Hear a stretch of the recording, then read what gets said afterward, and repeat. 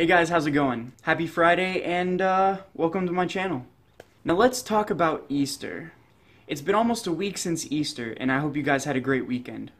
How was it? I just wanted to make a short video to connect with you guys a little more and to hear how your Easter went. So let me know all about it down in the comment section below. Now I'm the lead guitarist in the worship band at the church that I go to, which I'll be talking more about in my next video. But it's such a wonderful experience being a part of that, especially on Easter. It's so fun celebrating on stage through the music. Now, how about you guys?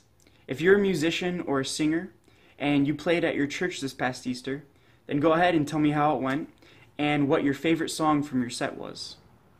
And if you're not a musician and you just have a great Easter story, then hey, go ahead and tell me about that as well. Now, if you guys like what I'm doing here on this channel, then go ahead and hit that like button. For my next video, I'll be sharing more of my story and how music is a part of my life every single day.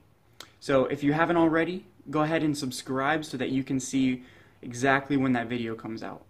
Thank you guys so much, and here's a little clip of one of the songs from our Easter set. I'll see you in the next video.